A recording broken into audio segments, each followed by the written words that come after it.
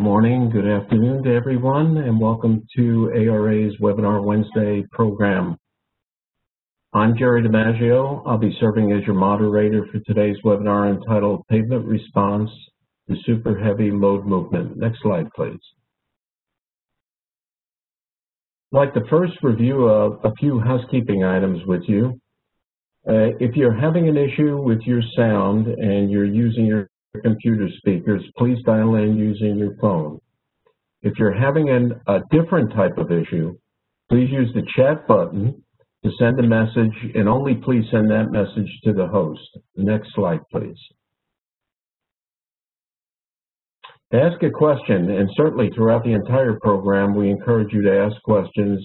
We will have a dedicated question and answer period at the conclusion of the technical presentation to ask your questions, send your question to both the host and the panelists, and we'll address these as I indicated at the conclusion of the program. Next slide, please. To view the presentation in full screen, at the top of your webinar settings, click on the down arrow, highlight View, and then select Fit to Viewer. Next slide, please.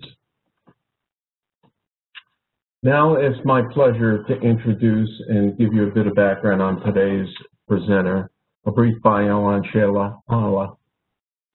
She is a pavement engineer with over 12 years experience and serves as a pavement project engineer for a variety of asset management and um, pavement projects for several pavement, highway pavement, and airport pavement evaluation of design assignments. Her experience includes pavement condition assessments, rolling weight deflectometer testing, MIT scanning, ground penetrating radar, friction, pavement designs, and life, life cycle cost assessments for both roadways and highways. She's experienced with the design of new roadways, including rigid, flexible, and composite pavements, as well as the rehabilitation of existing roadways in both rural and urban settings. Relevant to today's presentation, Ms. Khanal was the lead project engineer on several projects that involved the transport of heavy moves throughout central Alberta and Canada. Prior to joining ARA, she completed a Master's of Applied Science degree at the University of Waterloo. And now, Sheila, please.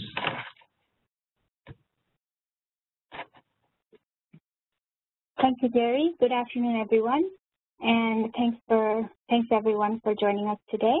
Um, the title of today's webinar is Pavement Response to Super Heavy Load Movement.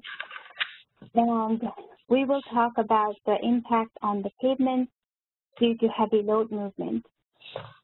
Um, at this time, I would like to also acknowledge Alex Sigel.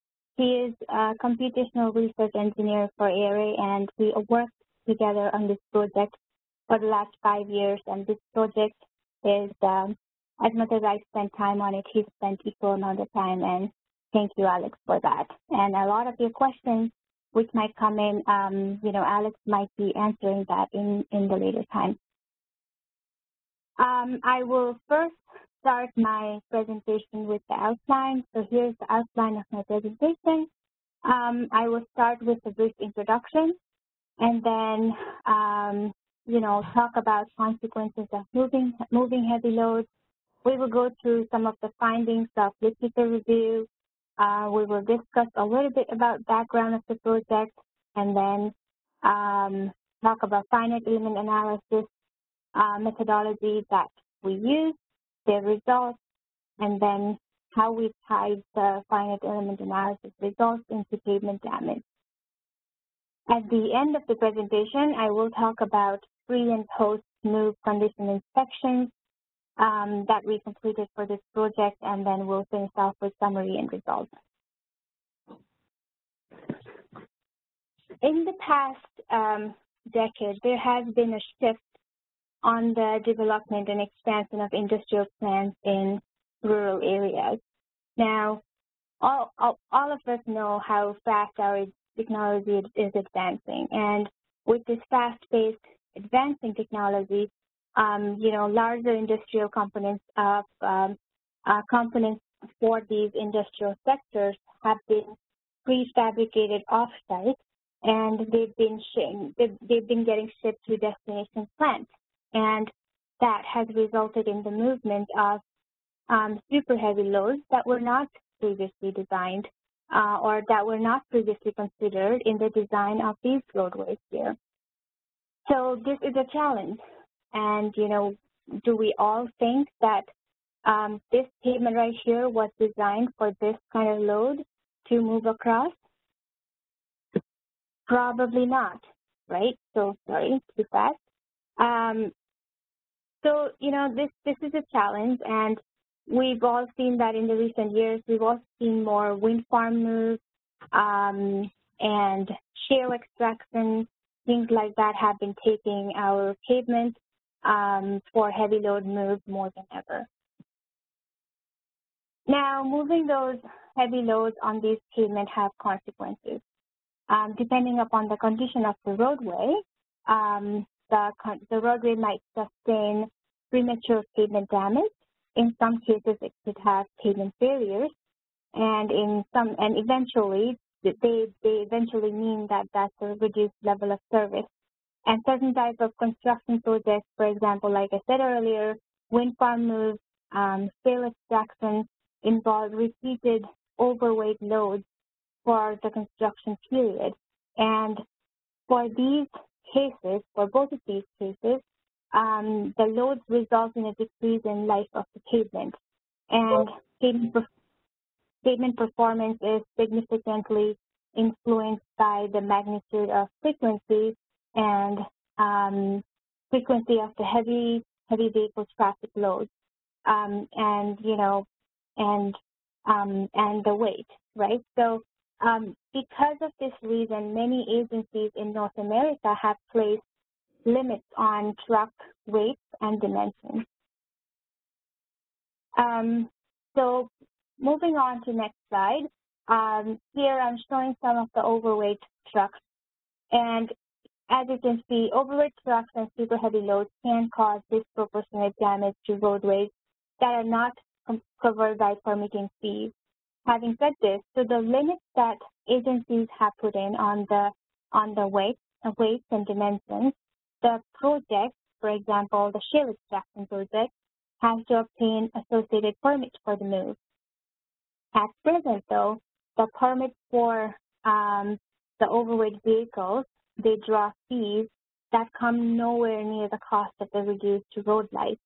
And using the techniques that we will discuss today in this presentation, the loss of life can be quantified and the resulting cost can be passed on to those responsible for the loading.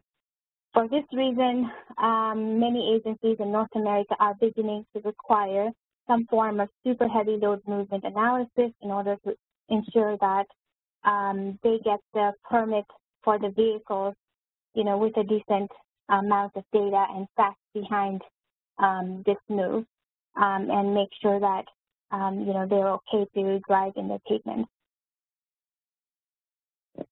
In early 2015, we um, we were contacted by um, several manufacturers in in um, Alberta because they had planned several moves from 2016 through 2018, and these moves were not just heavy moves; they were super heavy moves, and the loads that were that were that were planned were ranged from 1.4 million pounds to about 3.5 million pounds. Um, and um, the one specifically here you're looking at is a petrochemical vessel. Um, I'm going to um, say it as a splitter in my in my discussion moving forward, the splitter um, for petrochemical plant was going to be moved from Edmonton to Fort Saskatchewan, Alberta. As you can see, this vehicle is, this, this load is massive. This load itself is longer than the length of a football field. Now, how do you analyze the impact of such a big monster load on a pavement such as what we saw earlier? Um, by the way, the picture that you saw on my first introduction slide, that's the same load, and that's the pavement that we're talking about.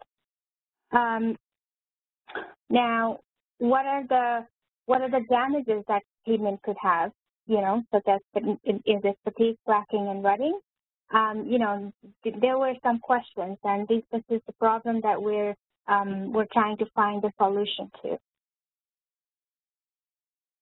So we mo moved on to go do some literature reviews and see what they've done out there. Um, we, we looked at a bunch of literatures and uh, from, the, first of all, there weren't a lot of literatures out there.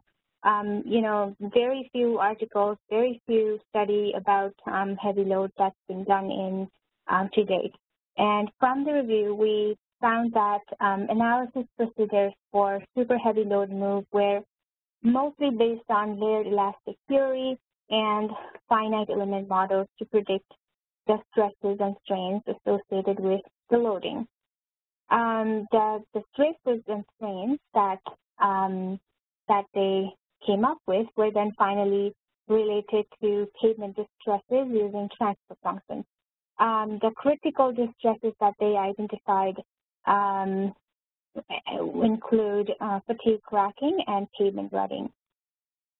Um, now, what are the what are the limiting values for fatigue cracking and pavement rutting? When is it con considered to be failed? And the, those common failure limiting values were um, that were suggested by these literatures were um, 12.5 millimeter rutting, that is also 0.5 inches of rutting, and 10 to 20 percent fatigue cracking of the pavement area.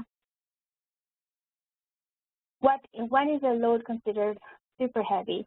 Super heavy loads are the loads that exceed um, gross vehicle weight. That is, for in, in this case, for example, this is the definition of Texas DOT. Um, Texas Department of Transportation identifies that once the vehicle exceeds 254,000 um, pounds, then you know, pounds of gross vehicle weight, then that means it's a super heavy load. But there's also more criteria. You know, it has to exceed maximum permissible weight on any axle or axle group or exceed 200,000 pounds with less than 95 feet of axle spacing. So there are all these criteria that Texas has. And, um, you know, this picture or this graphic on, on my right side of the screen, um, this came from NCHRP Synthesis 476. And this shows different legal loads in different states. And um, this summary, this, this synthesis has summary of state and provincial weight regulations and, you know, very good information there. So if someone's interested, you guys can go refer to that. Um, here, what you can see is um, Texas, Arizona, Pennsylvania, these black states are more than, has more than 200,000 uh, pound of gross vehicle weight um, permitted in their highways. And then you go down here, Washington, Oregon, Idaho, you know, New York, and so on are 180 to 200 kips. So it moves downward. Um, and that's the legal load for different states. Um, now, all right, we have these legal load limits, we have these super heavy loads, how do we analyze these um, these buggers basically? Um, the the procedure that we, we found out from literature reviews were layer elastic theory and finite element models.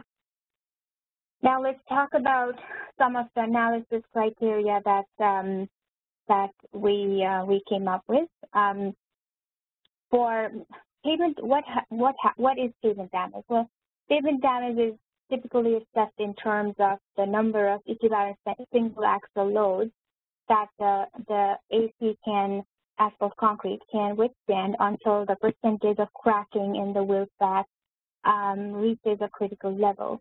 So I discussed this earlier in, in literature review slides. Uh, the critical level is usually defined as, uh, we know we did 10 to 20 percent uh, of cracking along the wheel path and a similar uh, criteria for rutting, which is um, subgrade rutting, which is due to non, non-recoverable uh, vertical compressive strains. Um, so the critical value for rutting is 12.5 millimeters, 0.5 inches. For this project, we considered um, the absolute value of asphalt strain. Um, and this, um, this comes from National Center for Asphalt Technology, NCAT, and they recommended an asphalt strain um, endurance limit of 70 microstrain, um, 70 microstrain. And this, this is, um, what it means is if there is a strain less than 70 microstrain, that, that would indicate that the asphalt concrete would still be in the elastic range and therefore applied load would not cause any permanent damage to structural loading. Moving on to rutting, the, the passage of the transporter also causes the pavement to deflect vertically downwards. What happens when this heavy load moves on a pavement? Everything deflects downwards. So, um, and because of this deflection, because of this vertically deflecting downwards, which causes stresses and strains on top of the subgrade layer, um, and this is and to avoid the, the rutting, to avoid rutting, it is expected, um, based on NCAT and monitored again, is um, the limiting strain is 200 microstrain. Um, so we, we need to make sure that the compressive strains at the top of the subgrade are lower than the design threshold. Um, so we looked at methodologies, different methodologies. One of them was using mechanistic empirical pavement design guide, um, which is AASHTOWare Pavement ME software, which follows MEPDG. Um, Pavement ME has a special module that um, it's called Special Traffic Loading for Flexible Pavements. And this module lets, um, lets you select special traffic loading option. And um, we, we attempted running Pavement ME software, but ME is not configured for this kind of massive platform trailer. Um, you know, it only handles 16 axles of traffic load and uh, so on and so on. There are other limitations.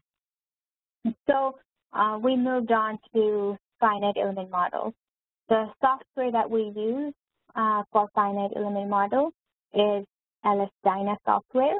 Um, and LS Dyna software was relevant to us because um, because of its dynamic effects. Um, you know, it's a dynamic finite element software. We wanted the, this vehicle to simulate the, the, the, the load when it's moving. We don't want to do it static. Um, and, um, and we want, you know, based on the literature review, we needed to make sure that we were able to determine the, the maximum strains in the asphalt and subgrade which, is, which was all possible with our Dyna software. Before I jump onto the background of the actual um, actual um, vehicle and you know all that stuff, I I thought I would put in a slide of um, the article that was published in January, first week of January 2019. Um, so this is the trailer um, actually on the move on the road. Um, um, and this is a snapshot of an article that was that was published. And if you are interested on looking at the videos of the moves, then uh, feel free to look for the heaviest load in Alberta. And this was the heaviest load in Alberta's history. So you will find lots and lots of articles and um, videos and very, very cool, cool, important, uh, fun stuff. Moving on to the background.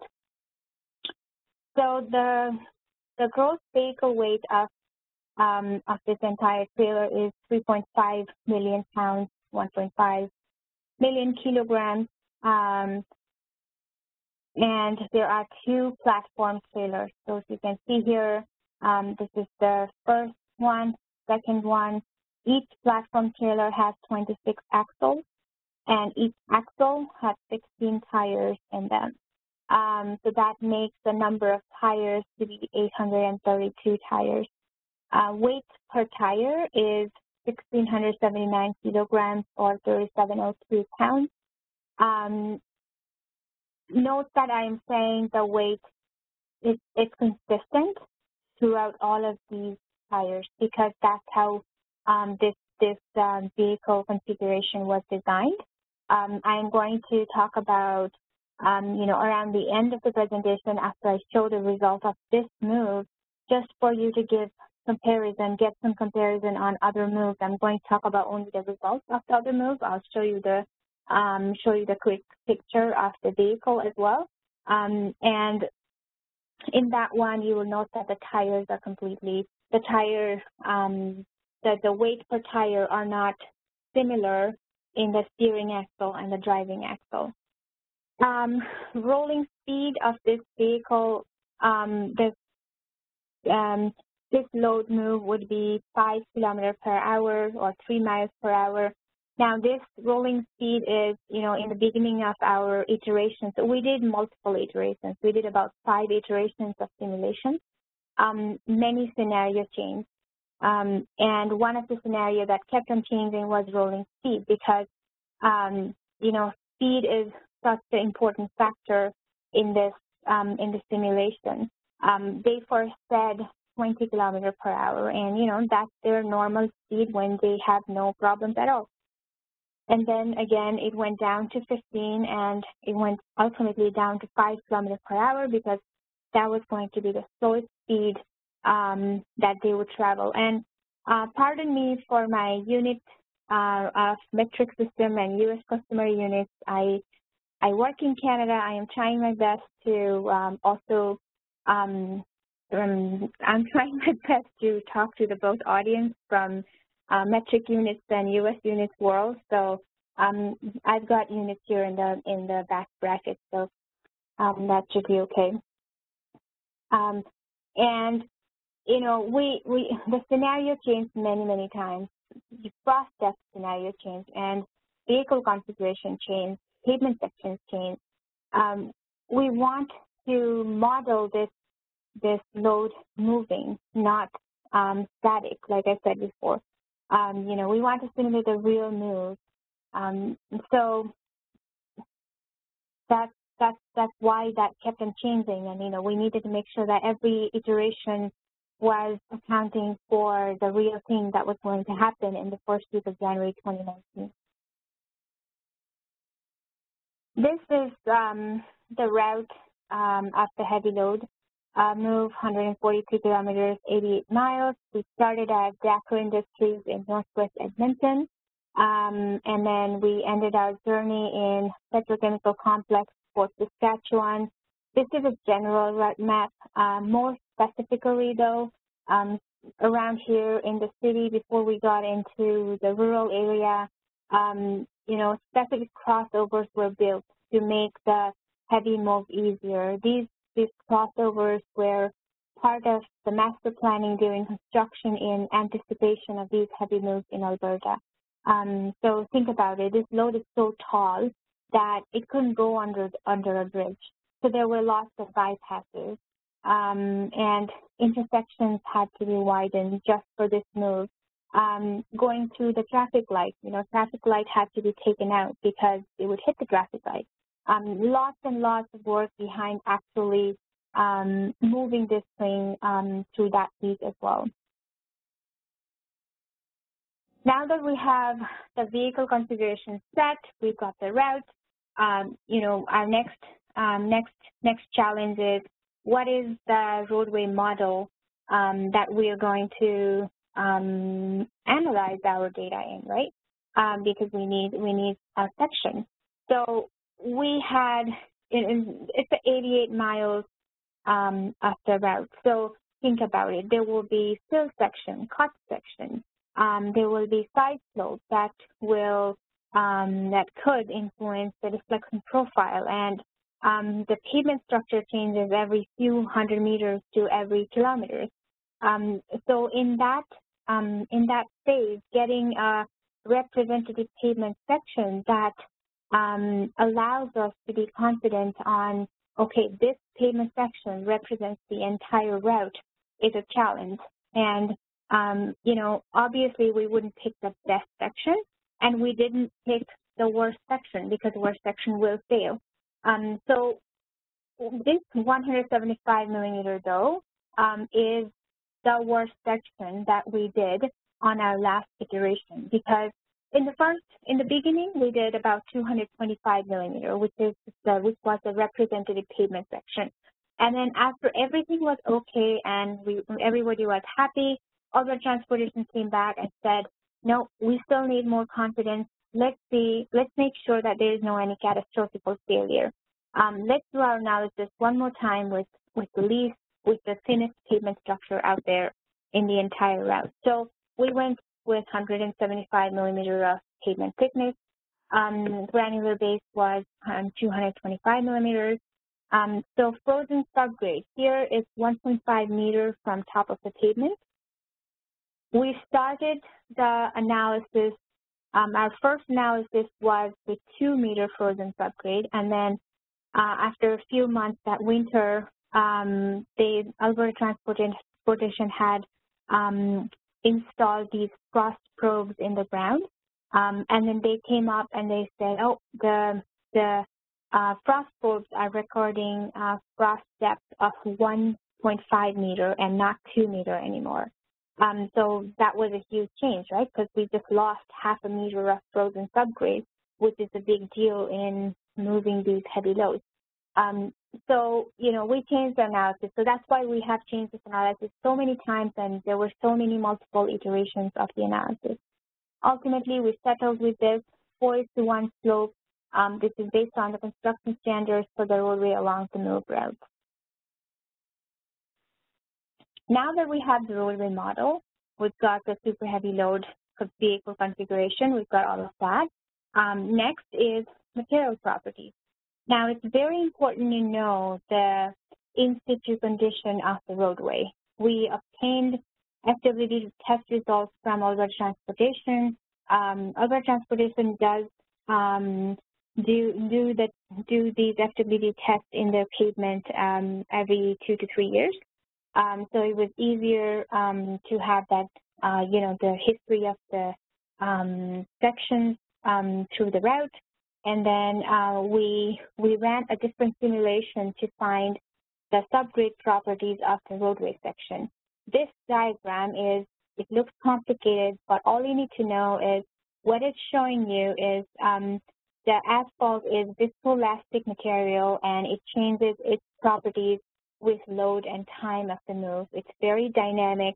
Um, if the temperature changes, if the temperature of the move changes, then the property changes. So um, this this this this this graph itself, dynamic modulus versus frequency, was um, was um, this ARA did the material testing in a lab, and this is the result of that graph.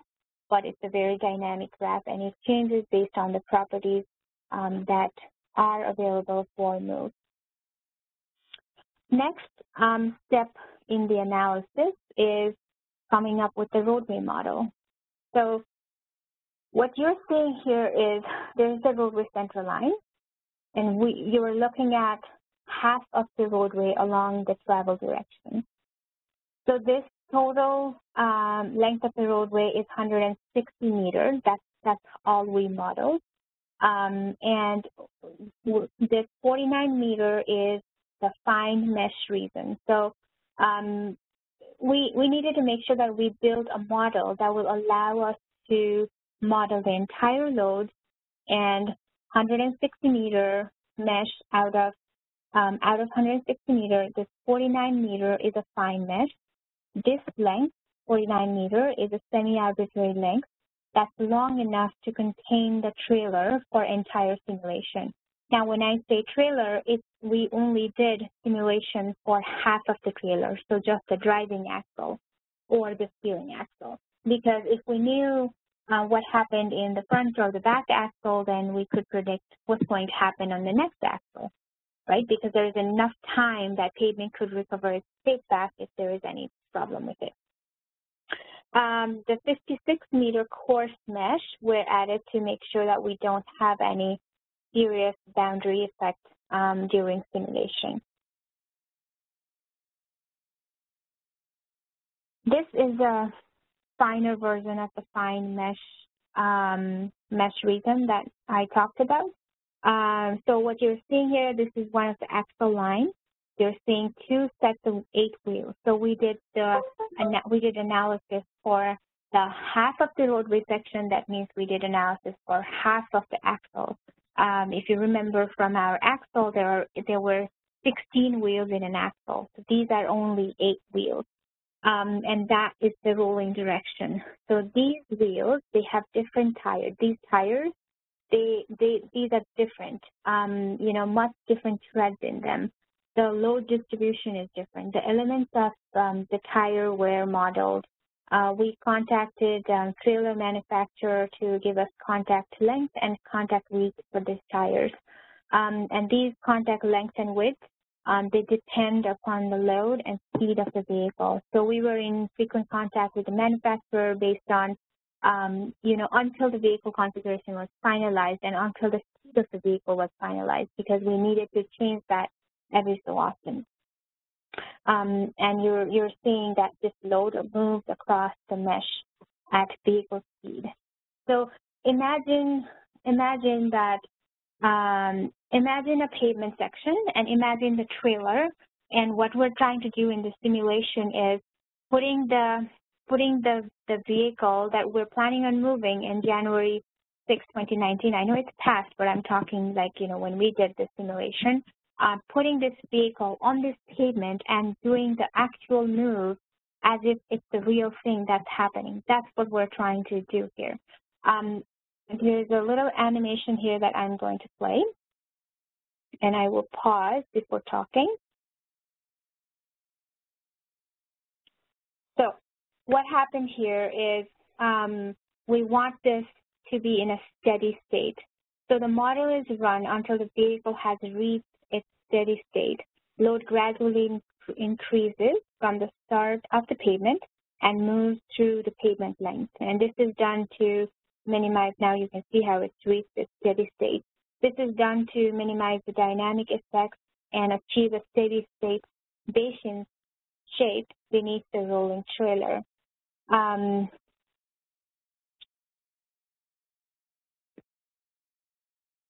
we're still talking about the model. So displacement, um, vertical displacement, um, in this graph, you're seeing displacement versus the location of um, the, first, the, the axle.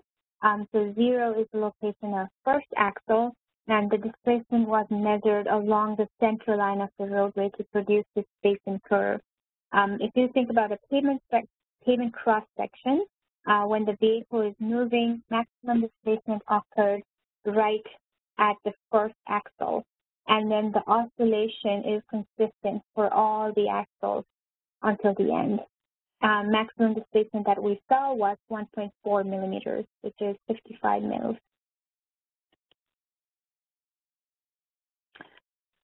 Peak, um, so we're talking about, uh, now we'll talk about asphalt strain. So that was all of the models. Um, peak, um, the peak tensile strains were found on top surface. So maximum concentration of strain um, is happening at the beginning of the asphalt. So when we did the analysis, uh, we were assuming that that would happen um, around the the around the middle of the asphalt, but we were uh, we were caught by surprise when we found that the concentration of strain was actually at the beginning of the asphalt. Um, and the maximum tensile strains are found near the top surface between the tire pairs. So this one right here. Um, and then if you look at the axle line, this is the tires on the axle line. And if you look at the axle line itself, though, uh, the maximum tensile strains were found between the inner tire pairs. So this is the inner tire pair. This is the section views of the asphalt, and I'm showing compressive stresses and tensile strain at the same time. Um, what's happening here is this is the, the tire load, right? Um, and compressive stresses below the tires lead to the lateral expansion of asphalt out, outward. Um, so what's happening is asphalt between the tires is then squeezed, is then squeezed down here um, from both sides and extends vertically upwards, which is where, where it is not confined. So um, this is also called Poisson's effect. So, for example, when we when you squeeze something together, it wants to squeeze out the other way. Um, this is the same phenomenon that causes top-down cracking or rutting in asphalt pavement.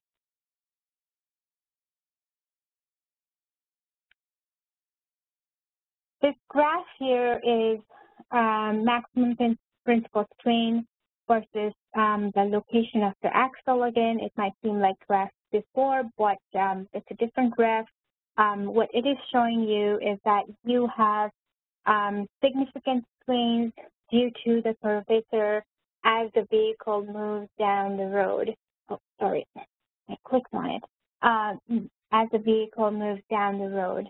Um, you know why? Because the speed changes and location changes. Uh, what you're saying here is the tensile strains are lowest for the outer axles and then largest near the center, um, around the center of the axle.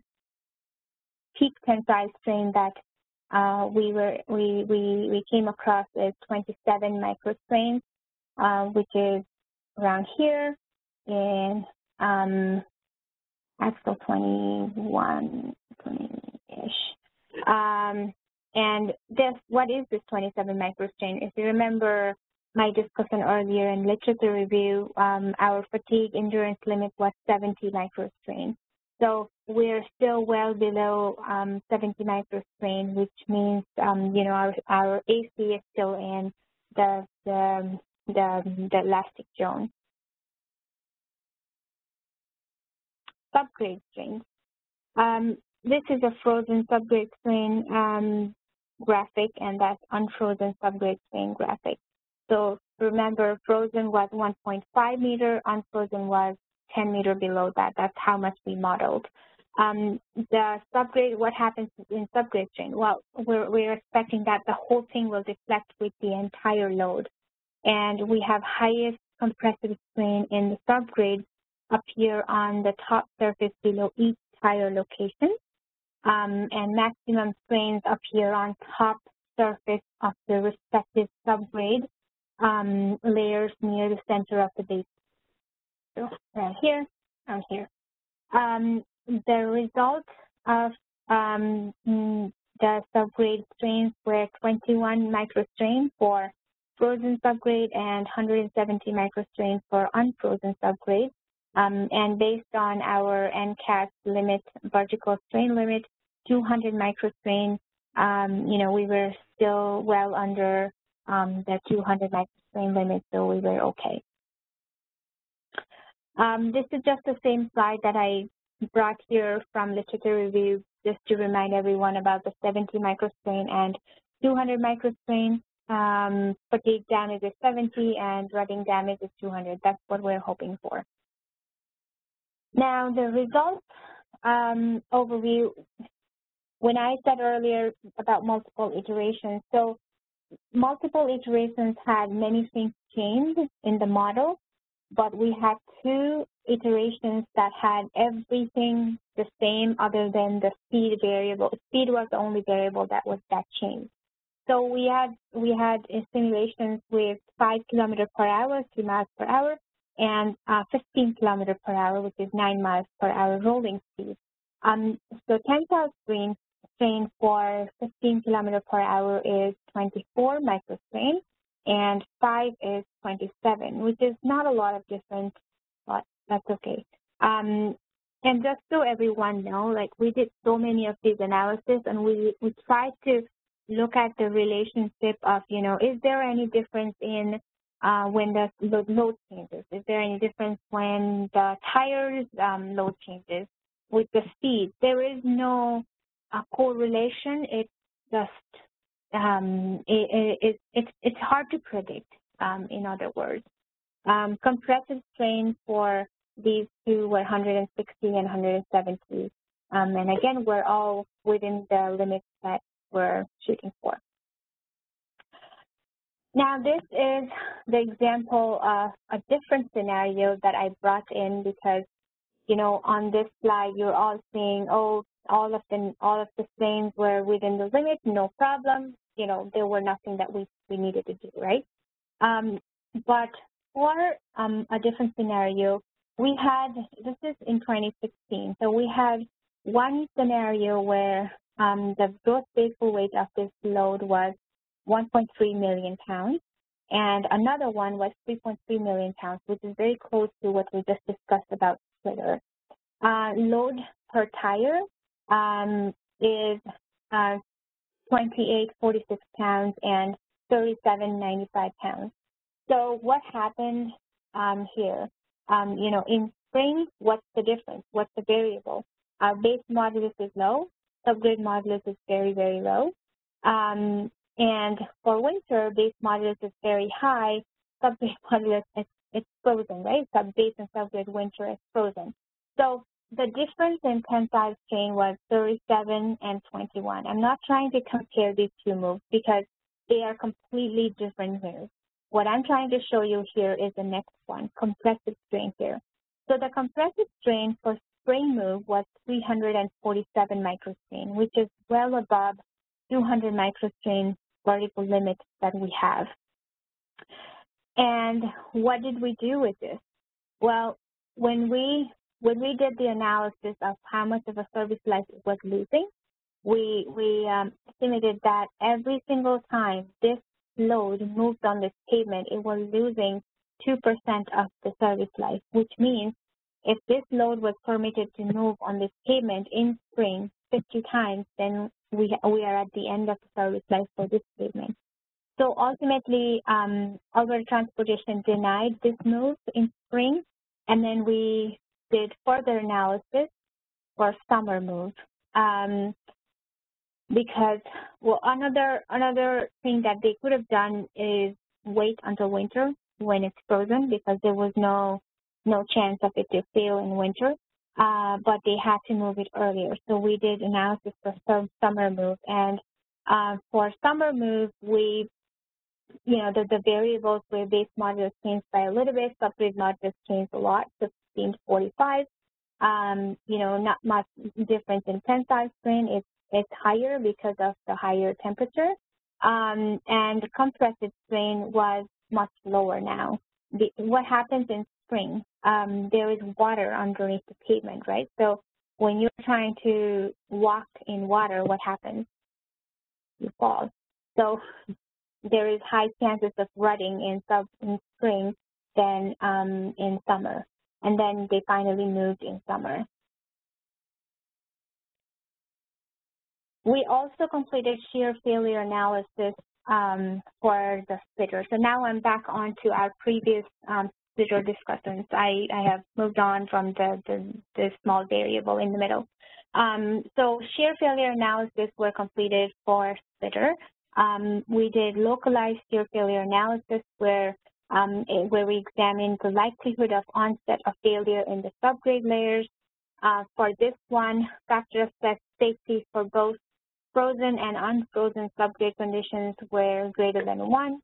Um, and we also completed ultimate shear failure analysis where we examined the likelihood of instantaneous failure of the pavement layers. Uh, factor of safety were greater than 3. Um, a great story to tell you guys about this ultimate shear failure analysis, what happened. I was I was in Edmonton um, on January 3rd, of 2019, so that's three days before the move. Uh, what happened was the frost depth in Alberta had gone down to one meter, and it was no longer 1.5 meter that we had um, we had estimated. So, um, you know, everybody's panicking because all of our approvals are based on 1.5 meter.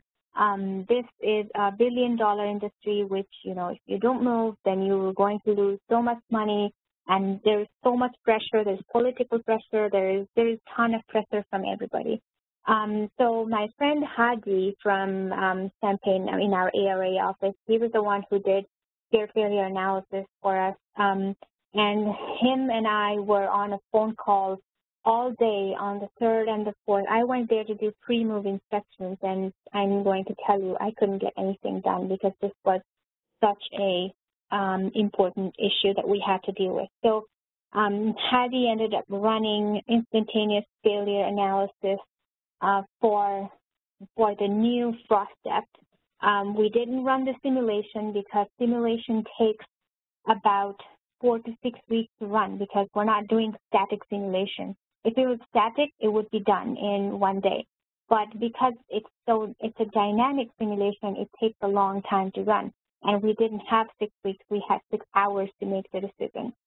So have you run these instantaneous failure analysis and, um, you know, everybody, all the, all the brains were involved and we finally gave it a go and they, we, said, okay, you guys are good to go, you can move. And then we moved and thankfully everything went okay and everything went according to plan um, and vehicle moved um, in about six days. It completed its, um, its travel from Northwest Edmonton to, um, to Fort Saskatchewan. So, like I said, uh, I was there to do pre-condition inspections, which I did complete after the big uh, panic. Um, on January 6th, the splitter made its um, made its journey towards its destination. Um, so I'm going to talk about pre and post move inspections that uh, we completed. Um, and it's not just for splitter. Splitter was the heaviest move that was going to um, that was going to move to Alberta Road. But around the same time, in January 24th and March 3rd, there were other two big um, big um, parts that were being transported, stripper and depropanizer, which were um, 1.3 million kilograms and 581,000 um, kilograms in weight. Um, so we, we, all of the pre-move and post-move condition inspections were for these, all of these three heavy loads. Um, now, this is the figure that we've been talking about. Um, this is the one that has 3.5 million pound load, 26 axle lines. Uh, weight per tire was about 3,700 pounds. This is a stripper um, 2.9 million pound load. Um, and there is a steering axle and driving axle, and both of them are not the same um, same axle lines. You know, they're different. Um, the tires in them are different. Um, this is this is 3,700 pound um, pound per tire. The load in this this axle, and um, this axle has 3,200 pound um, load in the tires, which, which you can imagine because these have more longer axles, more axles than the, the front axle. This is the propanizer, um, and this guy also has the same similar situation, 1.3 million pound load, um, and driving axle um, has um, driving axle has uh, 1371 kg, so 3,000 pounds, and this one has um, 3,500 pounds uh, load in the tire. So they are fairly, um, fairly, you know, heavy, heavy, um, super heavy loads. Now, we completed the post uh, pre and post move inspections in accordance with Alberta Transportation Manual. Uh, we did both windshield survey and we did the detailed visual survey for about 30 representative pavement sections out there. Um, our primary focus was wheel track, wheel track rutting, um, cracking, um, and transverse cracking, uh, longitudinal wheel path cracking, and fatigue cracking. Uh, what you're seeing here is the turning movement of the splitter, so heaviest ever move in Alberta Road. So this is just when it had come out of um, Dacro Industries in Northwest Edmonton. So I am more interested in in this in, in, this turn here. So this would be one of my representative sections. When I am looking at my pre and post move, so when I went pre, I went and oh, sorry, I went and I um, I inspected this section right here.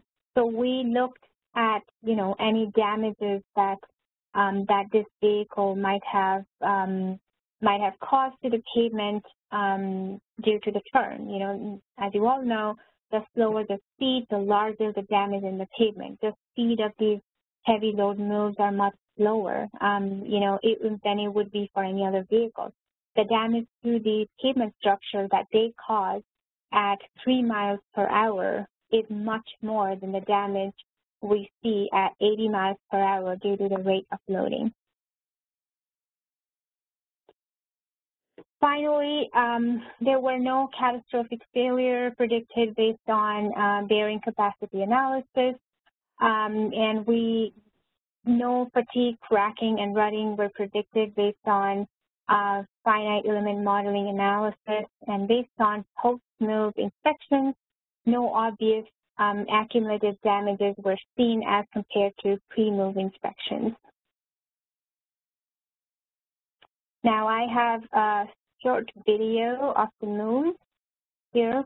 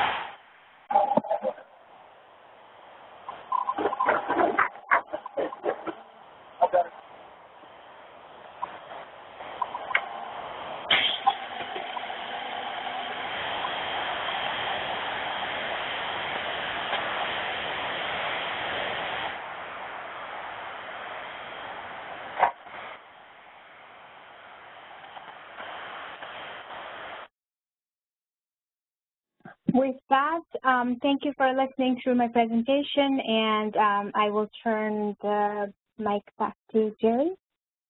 Well, thank you. That's pretty exciting. You know, videos like that are what make uh, young kids become scientists and engineers. So pretty exciting. Thank you, Sheila, um, for uh, a great presentation. Uh, we do have a number of questions that I'll get to in a few minutes here, but if you haven't already, we welcome you submitting your questions. If we don't get to them in the allocated time, Sheila will get back to you uh, via email. So I'd like to uh, share with you some upcoming webinars. Uh, the web uh, registration address is shown here. On November 18th, we're going to shift gears a little bit, and we'll have a presentation on airport pavement management by Brian Aho, who's uh, in our uh, Madison, Wisconsin office on December the 16th. Again, shifting gears again, coming from ARA's Environment and Health Solutions business sector. Brian, another Brian, will be presenting mask and COVID-19, a practical perspective. Uh, next slide, please.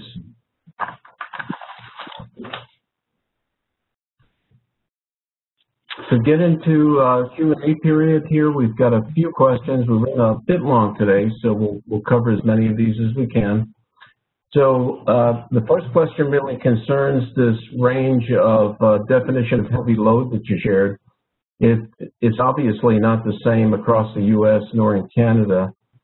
Uh, is this really the universal case of diversity, and, and why are they not the same by definition?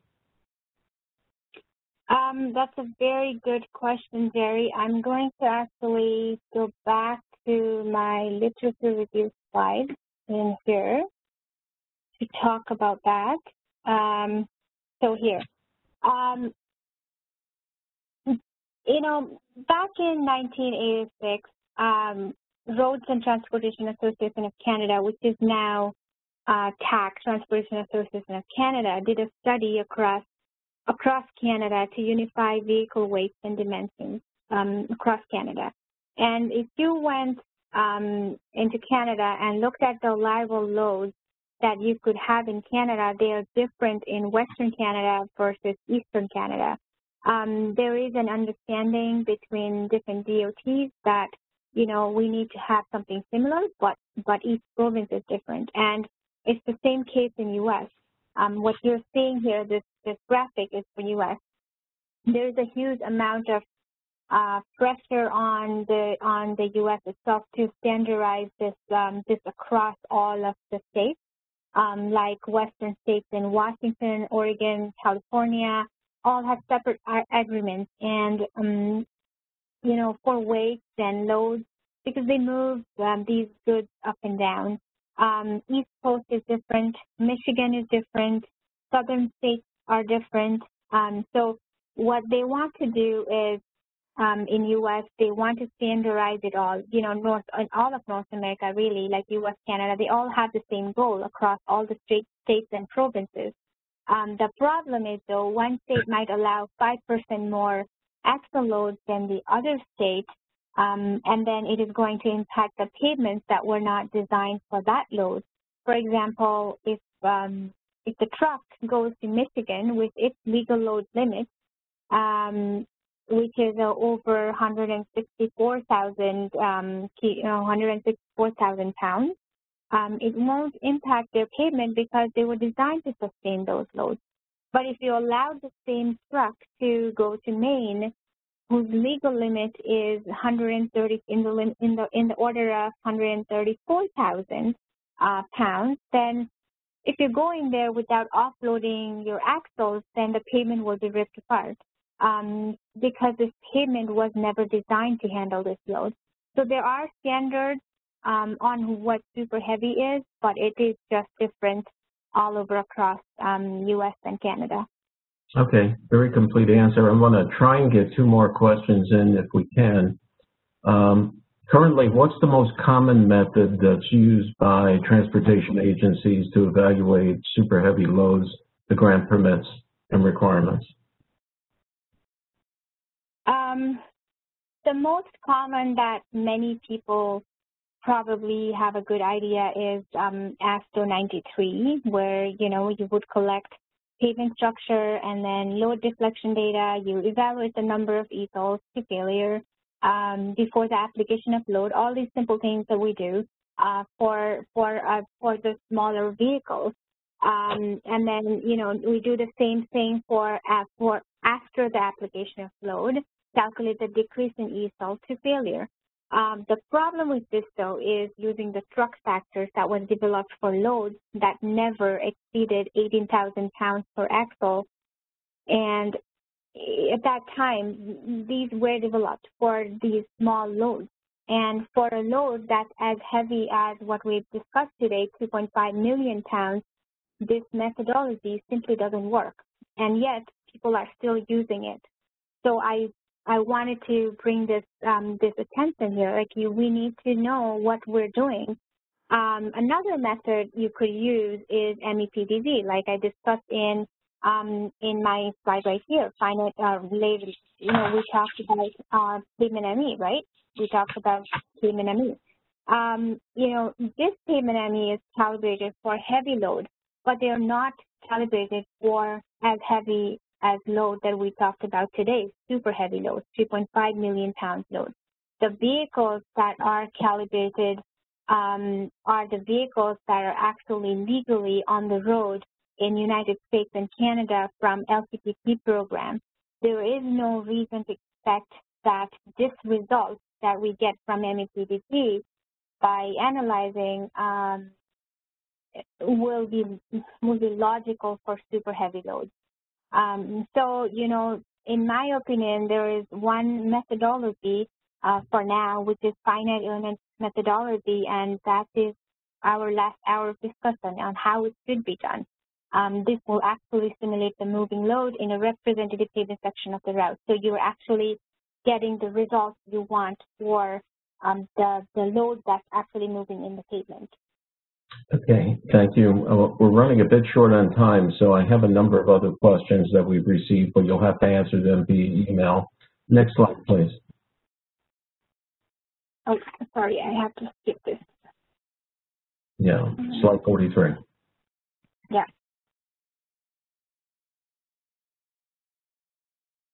Okay. So Thanks again, everybody, for joining today's program. And uh, just a few reminders. Today's presentation, as all of our uh, webinar presentations, is recorded, and there'll be a link that'll be made available on the ARA Webinar Wednesday website. You'll see that link in a few days. Uh, we also grant PDH certificates to all participants verified by your attendance report as being on the webinar for the entire hour just to be in accordance with the requirements of the respective professional engineering boards. A copy of today's presentation, a PDF version of that file, will also be included. And please allow us uh, about two weeks to receive your certificate. And finally, one more slide. ARA is uh, a great company to work for. I'm on my third career here, um, bumping up against my seventh year anniversary. And we're always looking for great people to join our team. We've got approximately close to 50 offices through the U.S. and Canada. We strive to hire the best colleagues who like to work for fun and science and for profitability, of course. So if you're interested in our current employment opportunities, uh, please look at the uh, www.joinara. And I want to thank you all again and have a blessed day. Thanks, Sheila, again. Great presentation. Thank you, Jerry. Thank you, everyone.